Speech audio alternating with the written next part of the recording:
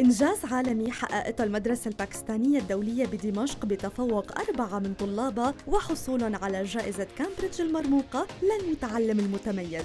هالطلاب حصلوا على أعلى العلامات بالعالم باللغة العربية ضمن اختبار IGCSE أو الشهادة العامة الدولية للتعليم الثانوي المسؤولة عنه جامعة كامبريدج البريطانية. لتكون المدرسة الباكستانية الدولية أول مدرسة بسوريا بتشارك بهالاختبار الدولي.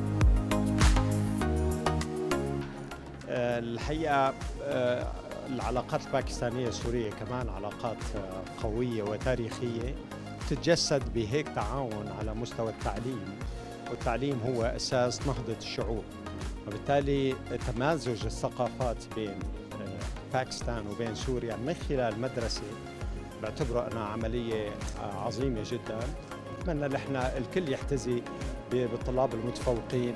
ويعطيهم آه، دافع ليتفوقوا. الحقيقة بنفس الوقت آه، الإمكانيات الموجودة آه، لدينا في التعليم الحكومي إمكانيات عظيمة جدا ومدارس المتفوقين كمان بتدل على اهتمام سوريا بشكل عام بالتفوق. أنا سعيد جدا لأن الجهد الذي بذلوه المعلمون والطلاب قد أثمر.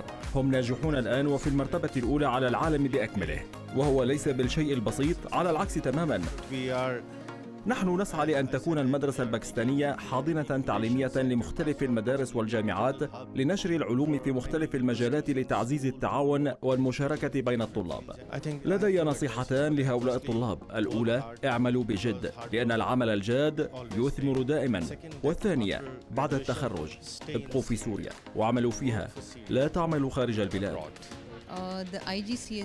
امتحان ال IGCSE تابع لجامعة كامبريدج وهو امتحان سنوي ينقسم لقسمين الأول في شهر أيار والثاني في شهر تشرين الثاني وهو يشمل مواد كثيرة منها اللغة العربية ونحن حريصون على أن نشرك طلابنا بهذا الامتحان كل عام. في الحقيقة المدرسة الباكستانية الدولية هي المؤسسة التعليمية الوحيدة الموجودة في سوريا كمركز لامتحان كامبريدج اي جي سي اس تي هاي السنة آه، أربع طلاب هن آه، أخذوا أعلى علامات على مستوى العالم. آه، من ثلاث سنوات كان في كمان دفعة طلاب بصف 12 بمادة اللغة العربية اللي بتأهلهم كمان لدخول الجامعة. فكانت نتائجنا هي الأفضل على مستوى الشرق الأوسط الدول العربية وجنوب أفريقيا.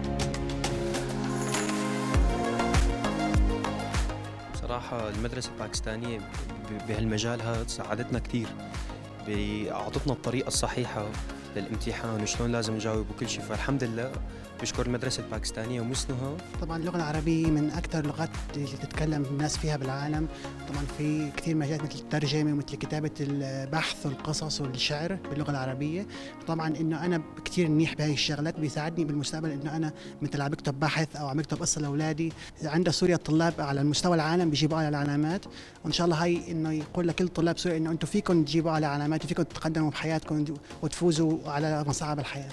هلا آه قبل الفحص بفترة منيحة قعدنا نتدرب مع مسنه وهي كانت دارسة كيف النمط الأكاديمي من كامبريدج بيجي. آه هلا بحب أنا أصلا إني أكتب شعر وبحب أستغل هذا الشيء لبعدين وهذا الشيء أكيد لبعدين رح يفتح لي كثير مجالات لبعدين بدراستي.